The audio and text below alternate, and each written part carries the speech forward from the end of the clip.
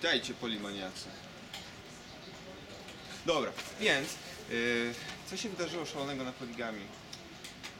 Tomek i Piotrek szykują się na trzy hotele, spotkania, ustawienia pokazów gry, wszystko takie różne inne ciekawe rzeczy, których elementy będziemy dopiero widzieć efekt dopiero za dwa tygodnie tak naprawdę, kiedy zaczną przysyłać nam te swoje pierwsze wrażenia z różnych szalonych gier. My zastanawiamy się co i kiedy będzie dokładnie podczas tego E3. Szukujemy takie różne rzeczy tajemnicze już na przyszły tydzień.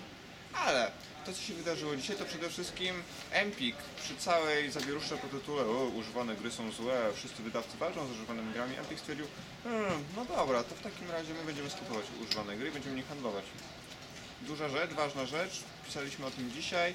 Yy, Szykujemy też spory raport na ten temat, więc wyczekujcie. Myślę, że będzie ciekawy.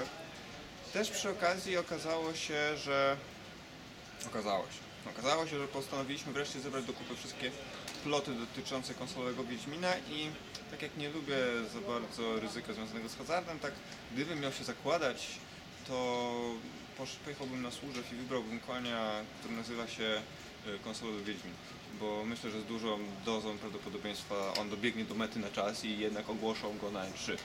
Nie mam pojęcia na co, ale obstawiałbym, że raczej na razie na Xboxa, bo jednak zanim się nauczą robić gry na PlayStation, to jeszcze trochę minie.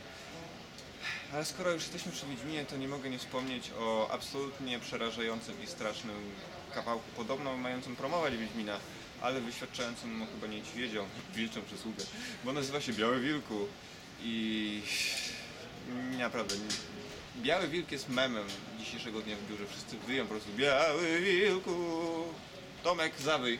Biały. Dokładnie. Więc e, to na razie tyle. Mamy nadzieję, że jutro albo pojutrze wreszcie będziemy mogli opublikować recenzję. Będziemy mogli. Wreszcie Paweł Kamiński skończy grać i pisać Biały. e, re, recenzję L.A. Noir i będziemy mogli się podzielić swoimi wrażeniami. Mamy też w planach nagranie poligatki, takie stricte Olej Noir, bo dawno nie było gry, o której byśmy tak żywo dyskutowali na łonie naszej redakcji, więc do zobaczenia kiedy indziej.